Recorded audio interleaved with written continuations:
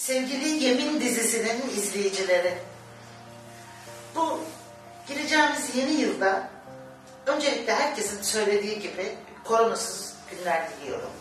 Sağlıklı, sıhhatli, huzurlu yıllar diliyorum.